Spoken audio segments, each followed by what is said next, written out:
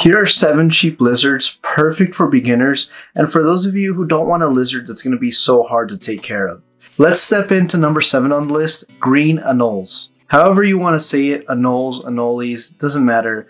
These are awesome green lizards that are so available you can find them at most chain pet stores, which they're mostly always wild caught, but if you can find a captive bred one at an expo or even at a reptile store where you know it's a captive bred animal, that's even way better. Green anoles don't really require that much caging. A 20 gallon is perfect for one green anole, and they are more of an arboreal species, so you'll want to have like a 20 gallon tall. You'll just have to put one of those conversion kits like the ones that I use here, and I'll put a link in the description for that. Green anoles primarily eat insects, and I think it's so cool to watch them eat because they'll just hone in and attack like little tiny raptors. Green anoles are a very forgiving species and they don't require a whole bunch to take care of them. These are some of the easiest reptiles to breed and it's really cool because if there's nobody in your town that's producing captive bred green anoles, then that's an opportunity for you to actually provide people with those captive bred animals. I will say that that will be more competitive just because you can get a wild caught green anole at a pet store for like five bucks so you're not going to make a lot of money if you're trying to mass produce green anoles and sell them and become a million. That's not going to happen. Uh, you'll probably sell captive bred green anoles for like seven to ten bucks. They have this really cool thing, kind of like how chickens do. It's called a dewlap, and they use it for a lot of different types of communication. Green anoles are all around just a really great animal to have as a beginner. I mean, look how green they are. They're awesome. Number six on the list is bearded dragons. Bearded dragons do require a larger enclosure, but not so big that you're gonna just end up being overwhelmed. Uh, 75 to 100 gallon tank would be perfect for a bearded dragon just because they do love to burrow and climb. They need a lot of room to move around, but they're so mass produced that you can find a bearded dragon for like 10 20 bucks. So if you're looking for a really cool pet but you don't mind getting a bigger enclosure for them, then bearded dragons are awesome. They'll eat greens and insects, and they don't really move around a lot. They like to hang out on your shoulder, so if you're somebody who doesn't like a skittish reptile, then bearded dragons are pretty much the best one for you because they will sit on your shoulder for hours. They'll fall asleep. You can teach them tricks. You can. They're basically a dog. They should be called dog dragons.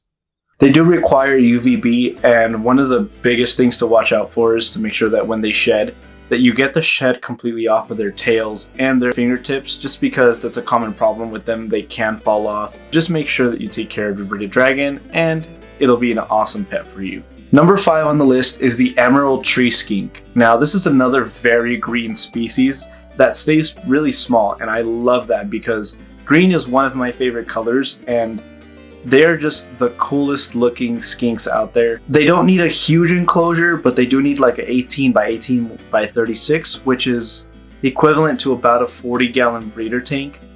And they do like to climb, so you want to give them that opportunity to climb as well. You'll feed them things like mealworms, dubia roaches, and crickets. They also eat some greens and some fruits, but you don't want to feed them too much of that because that can also cause some health problems. And if you do breed them, or if you just have them as babies, you can actually give babies crested gecko diet and they will also eat that. I would recommend like the insects and fruit crested gecko diet. That would be the best for them. They're a very personable and engaging animal. They like to go and explore and they're very curious, so they'll actually go up to you and actually crawl on your hand without you even having to pick them up they're really cool. You do want to provide them with a basking area. You want to provide them with UVB, and they do need a higher humidity. Uh, not so much, but um, I would say anywhere from 50 to 75. And one of the more important parts about these emerald tree skinks is that they are starting to become more readily available. So anywhere from $40 to about $120 you can find them for, which is, I think, very reasonable as a reptile that is green and beautiful and awesome and just all around a great animal. Number four on the list are African fire skinks. Now, I might be having to get an African fire skink because this thing is freaking awesome. I didn't know that African fire skinks existed, but when I started to read about them, I just, it blew my mind.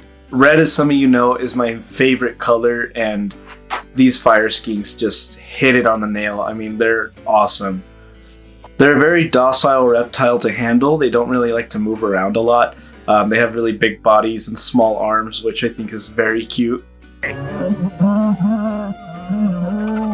They're great for somebody who wants something unique, but also doesn't really want a snake.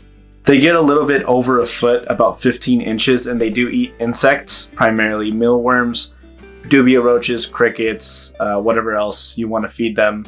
And the same as the emerald tree skinks, these only require a 40 gallon breeder. Bigger is always better, but you can't keep one in a 40 gallon breeder.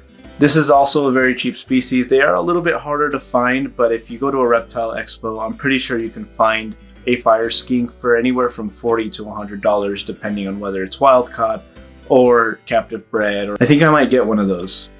But I also say that I'm going to get every reptile, which will happen someday.